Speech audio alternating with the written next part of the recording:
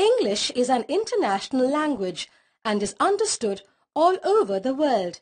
In fact, in today's world, speaking English has become a necessity. Moreover, with the globalization of trade, commerce, and new avenues of employment in BPOs and multinational companies, the importance of fluent spoken English has grown immensely, being the international link language. Most of the people lack the requisite skills in the spoken English while conversing in different situations in day-to-day -day life. The proper grasping of the model conversation is illustrated ahead that will help you immensely to overcome the weaknesses. The objective of this session is to make you speak English without fear or hesitation and without any grammatical errors. Introducing yourself. When you are introducing yourself to other people, you would use your first name in informal circumstances. Now, let us observe some examples of introducing yourself. Situation 1. Hello, my name is David. What's your name? Rosie. Where are you from, Rosie? I'm from New Delhi. Where are you from? I am from Toronto. Are you a Canadian? Yes, I am. Are you an Indian? Yes, I am. Situation 2. Hello. Hi. My name is Kabir. What's your name? My name is Jackie. What are you studying? BE. Where are you from? I am from Mumbai. And you? I am from Bangalore. Hello and goodbye. All of these greetings are used in formal situations when we might say, how do you do in English or meeting people who we don't know particularly well. Now, observe the following conversation. Hello, Lucky. How are you? Fine. Thanks. How are you? I am fine. Thank you. Where are you going? I am going for lunch. Okay, carry on. Bye-bye, Rohan. Have a nice day. Thanks. Telling the time. These conversations are useful to tell the time in a polite manner when somebody asks time. Conversation 1. Excuse me, can you tell me the time please? Yes, of course. It's five o'clock. Thank you. No problem. Conversation 2. What time is it? 3. Thanks. Personal information. This conversation is useful when you are giving full information about you in a short manner. See the following example. What's your surname? Family name. Dikshit. What's your first name? Robin. Where are you from? Connaught Place, New Delhi. What's your job? I'm a professor. What's your address? 12 Connaught Street. What is your phone number? 5063 5875. How old are you? 30. Are you married? Yes, I am. Shopping. While shopping around, you have to ask the salespersons for the things you have to buy. Ask for its price. Ask for sizes, etc. See the following conversation. Can I help you? Yes, I'm looking for a pullover. What size are you? I'm an extra large. How about this one? Yes, that's nice. Can I try it on? Certainly. There's the changing room over there. Thank you. How does it fit? It's too large. Do you have a large? Yes, here you are. Thank you. I'll have it, please. Okay. How would you like to pay?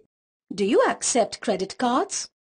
Yes, we do. Visa, MasterCard and American Express. Okay, here's my Visa card. Thank you. Have a nice day. Thank you. Goodbye. At the airport. In the airport, At the time of checking in and passport check, conversations look like in the following manner. Observe the following conversations. At the time of checking in, the conversation may be as follows. Good morning. Can I have your ticket please? Here you are. Thank you. Would you like smoking or non-smoking? Non-smoking, please. Would you like a window or an aisle seat? An aisle seat, please. Do you have any baggage? Yes, this suitcase and this carry-on bag. Here's your boarding pass. Have a nice flight. Thank you. At passport check, the conversation may be as follows. Good morning. Can I see your passport? Here you are. Thank you very much. Are you a tourist or on business? I'm a tourist. That's fine. Have a pleasant stay. Thank you. Asking for directions. We can use a number of language expressions to perform the function of asking for and giving directions. Let us see some examples of conversations giving directions. Conversation 1. Excuse me, is there a bank near here? Yes, there's a bank on the corner. Thank you. You're welcome. Conversation 2. Excuse me, is there a shopping mall near here? Yes, there's one near here. How do I get there? At the traffic lights, take the first left and go straight on. It's on the left. Is it far? Not really. Thank you. Don't mention it. Getting a room in a hotel. When you go to a hotel and ask for the room for a night, the conversation may be as follows. Good evening. Can I help you? Yes, please. I'd like a room for the night. Would you like a single room or a double room? A single room, please. How much is the room? It's 1000 bucks per night. Can I pay by credit card? Certainly, we take Visa, MasterCard and American Express. Could you fill this form, please? Do you need my passport number? No, just an address and your signature. Here you are. Here's your key. Your room number is 324. Thank you. If you need anything, dial 0 for the reception area. Thank you. Have a good stay. Ordering a meal. In a hotel, when we order a meal, the conversation may look like as follows. Observe the following conversation. Hi, how are you doing this afternoon? Fine, thank you. Can I see a menu, please? Certainly, here you are. Thank you. What's today's special? Grilled chicken and cheese on rye. That sounds good. I'll have that. Would you like something to drink? Yes, I'd like lemonade. Thank you. Here you are. Enjoy your meal. Thank you. Can I get you anything else? No thanks. I'd like the bill, please. That'll be 250 bucks. Here you are. Keep the change. Thank you. Have a good day. Bye. Talking about profession. Almost at every introduction, people ask us what we do. In response to this question, we talk about our profession or the organization we work for. Let us observe the following conversation. Hi, I am John. Hi, I am Kavita. What do you do, Kavita? I am a software analyst in an information technology company and develop computer software. When did you join this company? I joined this company eight years ago. What type of company is yours? Ours is a multinational company. How many people are working there? There are about a 150 people working. What is the annual turnover? The annual turnover is about 90 crores. Does your company have any branches? Yes, one in Gurgaon and one in Bangalore. Where is the head office? The head office is in Mumbai. Activities at home. At office, we work. Well, at home, our activities are varied. Let's now see a conversation about activities at home. Normally, when do you get up? At 5. Why do you get up so early? I have to cook. My son leaves for school at 6.45 a.m. At 6.45? When does his school start? At 9. Then why does he leave so early? He has to. The school is far away and the bus picks him up at 6.45. When does he return? By 5. What do you do in the afternoons? I read books or watch TV. Don't you have a nap? No, I don't. If I have, I get a headache. When do you have your lunch? Usually I have it about one o'clock. Do you cook twice a day? No, only once. For supper, we have only snacks and fruits. Permissions. Expressions beginning with can, may and could are usually used for asking permission. There are also other more polite expressions using more words to ask for the permission. Asking for permission denotes a question. At the time of asking permission from boss, the conversation may be as follows. Excuse me, sir. May I come in? Of course. How can I help you? Yes, I am unwell. I want to go to the doctor. What's the matter with you? I am running a high temperature and have breathing difficulty. Well, you may go now and get well soon. Thank you, sir. Here is my leave application. Bye. Bye. Take care. At the time of asking permission from boss to go early, the conversation may be as follows. Could I possibly interrupt, ma'am? It's urgent. Go ahead. I wonder if you would mind if I leave one hour early? I need to meet my mother from hospital. Of course not. You may go early today. Thank you very much, ma'am. Do you require anything else? Nothing as of now, ma'am. Bye. Past experience. To ask about one's past experiences, we use the following language expressions. They start either with did and you or have you ever. Let us see some examples. Conversation 1. I saw you in your dad's car this morning. Are you learning to drive, Amit? No, I had a puncture and my dad gave me a lift. Did you know that Tina is taking driving lessons? No, I didn't, but driving lessons are pretty expensive, I know. She has learnt, practiced, and she's applied for her license. That's good, because it usually takes a longer time to do all these. Conversation 2.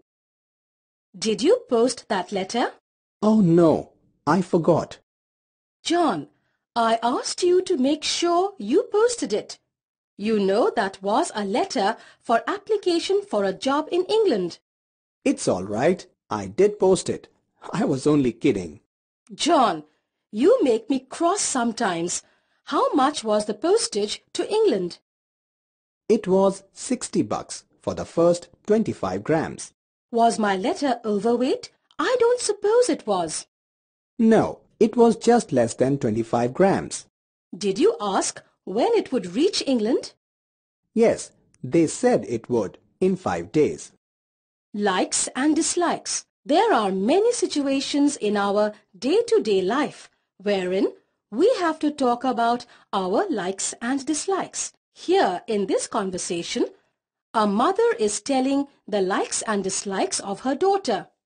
Let us see her conversation. My daughter Monica is a peculiar girl of her age. She is only six. She doesn't like ice creams. She doesn't like dolls. She likes books. She likes our dog Maggie. She doesn't like going to school, but she likes playing teacher. She likes her grandma's place, where there is a nice garden about the house. She likes people who tell her a lot of stories. Apologizing. You apologize when you have committed a mistake or when something bad has happened to someone or when you have done something wrong or upset someone. See the following conversation. I am sorry. I don't mean to hurt you. It's okay. Sorry, I am late. That's okay. I've forgotten your DVD. Sorry. No problem. Bring it tomorrow. I am really sorry. I've broken your CD. You should have been careful.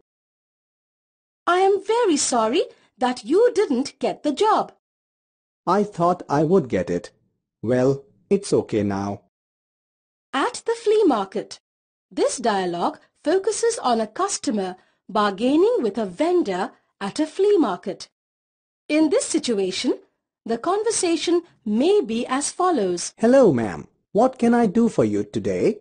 This is quite lovely. Where was it made? Oh, I see you have excellent taste. Yes, that is beautiful, isn't it? It's the local pottery. I think it was painted here by a local artist. It's really something. Do you have anything else by this artist? Well, I'm not really sure who exactly painted which pieces of pottery, but here are some similar pieces. No, they're really not the same. Well, how about these here? I had them brought in just this morning. Yes, those are quite nice. What about the prices?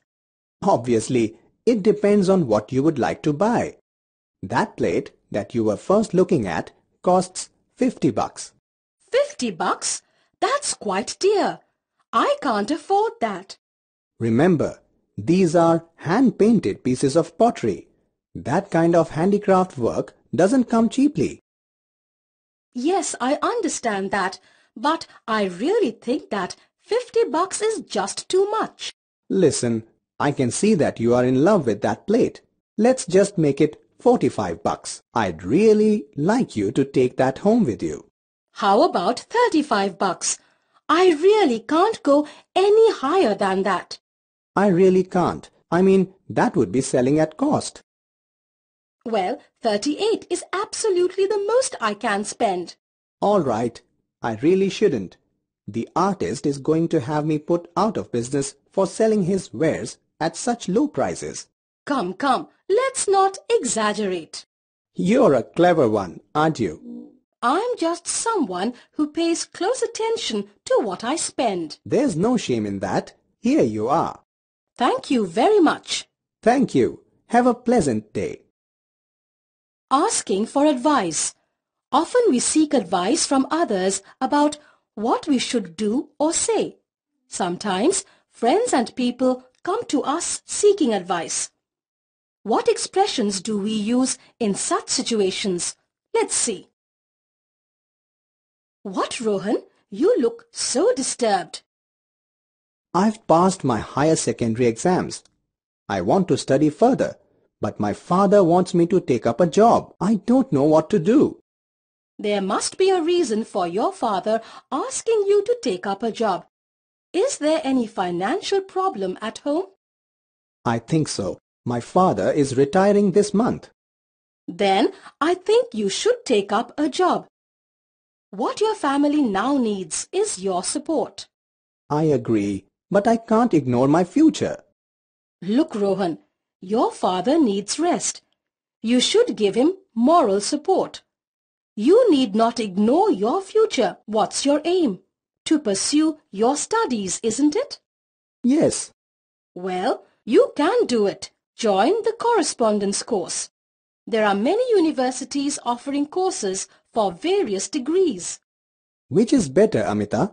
Regular degree course or correspondence course? What you need is a degree, isn't it? Either will do. Thank you, Amita.